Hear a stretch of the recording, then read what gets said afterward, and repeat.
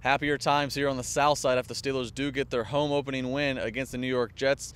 Hello, everybody. I'm Justin LaBar alongside Mark Kaboly and Alan Robinson from the Pittsburgh Tribune Review. Oakland Raiders out in Oakland coming up this Sunday. And Alan, it's something that you were writing about in the Pittsburgh Trib this week. It's about how the Oakland secondary is brand new, revamped, and in fact, you don't really know much about them. So we talked to some of the Pittsburgh Steelers wide receivers to see is this an advantage or a disadvantage? De definitely. So I, I said, and then with, by them being waiver wire guys, they're gonna go extra hard trying to prove something. So you got to be ready. Uh, right now, it's a guessing game. We can't go in. Uh, we can't go in and watch film on a particular guy and, and how he plays the, position. Uh, right now, we can only work off their scheme and then their zones and things of that sort. Uh, but you know, we're working extremely hard to, um, you know, understand who's going to be playing over there and what they're going to be playing. So uh, when the game time comes, we can play as fast as we can. Well, at, at the corner position specifically, we you know, we really don't have an idea. I think Shawntae Spencer is out now. Right. You know, they've been working out guys. Um, Only four of them nature. yesterday. Yeah, yeah. So uh, I think the one thing we, we're keeping in mind is that you know the safety position is pretty good.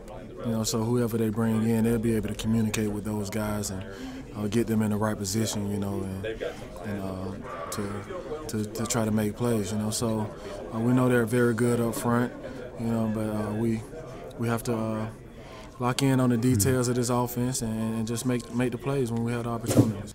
So they're here. Why, Alan? I think you and I maybe we interpret the same thing. You know, the receivers have some confidence. They do know that this this is not uh, an Nnamdi Asomugha. This is you know uh, not a, a Darrelle Revis.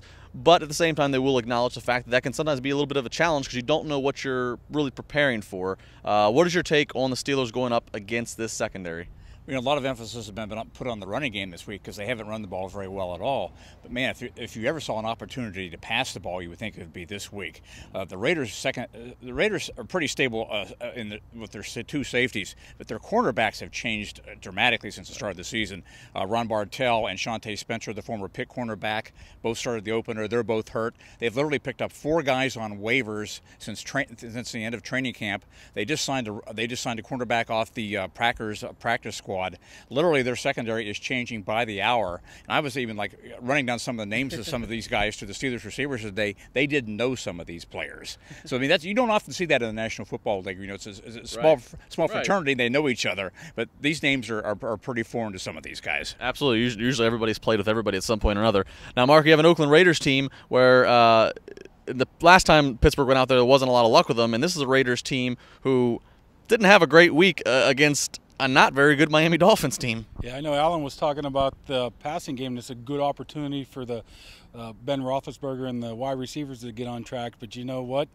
Reggie Bush ran for 180 yards against that Raiders defense uh, last week. Some big runs, some really splash runs. So it's going to be basically pick and choose what you want to do this week, it seems like, which is surprising because uh, the Raiders have two stout defensive tackles and Richard Seymour and Tommy Kelly, veteran guys, are pretty good. So it's kind of surprising Reggie Bush was able to do what he did, but it looks like the Steelers' offense is going to be able to do whatever it chooses to do this week. All right, let's see. It's time for our predictions as we do every single week. Alan, you're one and one. Mark, you're two and zero. Oh. Alan, we'll let you have it. Going into Oakland, how do the black and gold do? Well, you know, this has been a black hole for the Steelers. Uh, they lost out here in 2006 to a Raiders team that only won two games. They lost here in 2009 to a 5 and 11 Raiders team, knocked them out of the playoffs. Uh, but they, they they got the job done when they played them then in 2010. I think they beat them 35 to three. I, it, uh, Oakland has never been a, a, good place for the Steelers, but I think they're going to win this week. I think it's going to be somewhere around the neighborhood of 28 to 10. All right, 28-10 Pittsburgh. Mark. Same prediction. I am uh, harboring my inner Clubber Lang pain. 31 10 Steelers. I can't see the Raiders even scoring 10, but I'm just being nice. Just being nice. Well, there you go. Well, be nice. Check them out on Twitter. Follow them uh, on Twitter. You see the uh, handles right there on your screen. And, of course, read the Pittsburgh Tribune Review, hard copy, or triblive.com. As always, these guys will be bringing you up to speed all week long, leading up and after the game of what uh, should be interesting for Steeler fans and maybe educational in the, in the case of the Raiders defense. For Alan Robinson, Mark Kaboly, I'm Justin LaBar. At a newsstand near you.